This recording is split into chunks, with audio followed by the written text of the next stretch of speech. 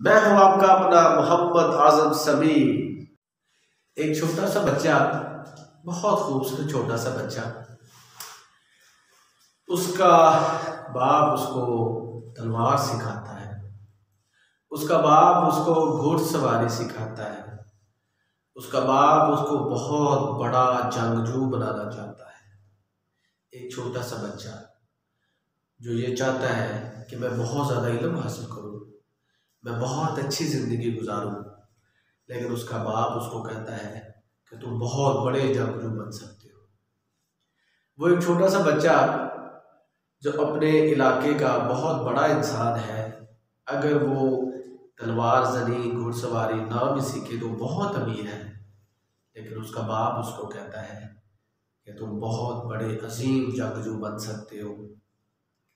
वो छोटा सा बच्चा जब बड़ा होता है वो बादशाह बनता है। बादशाह बनने के बाद उसके पास बहुत ज़्यादा आसाइशें होती हैं। अपनी आसाइशों भरी ज़िंदगी में भी वो खुश है, लेकिन उसको असल खुशी तब मैसर होती है जब वो जंग लड़ता है, जब वो घुड़सवारी करता है। बहुत सी मुश्किल आती हैं, लेकिन वो डरता नहीं है। वो एक छोटा सा बच्चा जो बहुत बड़ा बादशाह बन चुका है। और अपने इलाके इतनी ज़्यादा दहशत है उसके नाम से कि जब वो चल रहा होता है तो दुश्मन की औरतें कहती हैं, सो जाओ सो जाओ बच्चों टीपू सुल्तान आ रहा है। जी हाँ ये वो टीपू सुल्तान थे, जब वो शहीद हो चुके थे तो अंग्रेज़ यकीन ही नहीं कर रहे थे कि टीपू सुल्तान मर गए हैं। टीपू सुल्तान शहीद हो चुके हैं। उस वक़्त जब वो किले में मैसूर थे और चारों तरफ़ से अपने दुश्मनों के साथ लड़ रहे थे, चूँकि एक गद्दारी की वजह से उनको अपने किले में मैसूर होना पड़ा, उनको कहा गया कि अगर आप हमारी बात मान लें तो हम आपकी ज़िंदगी बख्श सकते हैं। लेकिन टीपू सुल्तान कहते हैं, ऐसा नहीं है। मेरे बाप हैदर अली ने मुझे जंगजू बनाया है और मैं एक बहादुर शख्स हूँ और बहादुर की मौत मरूँगा और यकीन करें गीदड़ की सौ साल ज़िंदगी से शेर की एक दिन की ज़िंदगी बेहतर है। ये हमें टीपू सुल्तान ने बता दिया। Prosperity smiles at the bold जो बहादुरी होती है ना, वो खुशहाली लेकर आती है। जो कमज़ोर लोग होते हैं they are not prosperous they are like अमाइस तो आपने क्या करना है? आपने बहादुर बनना है।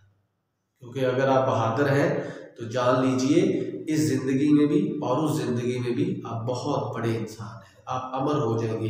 टीपू सुल्तान आज भी उन लोगों के सफ में है जो बहुत ज़्यादा बहादुर होते हैं। पूरा अमेरिका कह देता है कि हमने ईरान पे हमला करना है।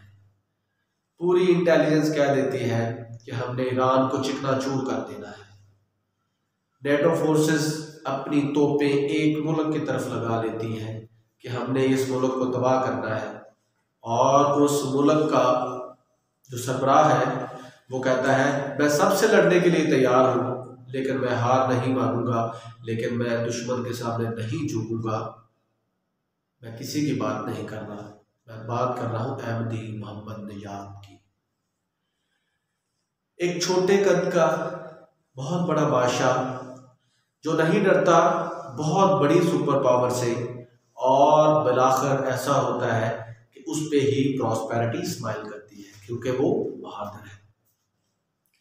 उर्तुल गाजी जब बहुत ज़्यादा फतूहत कर चुका होता है या कर रहा होता है तो बहुत ज़्यादा बड़े बड़े कबीलों के सरदार उसको डराने की कोशिश करते हैं।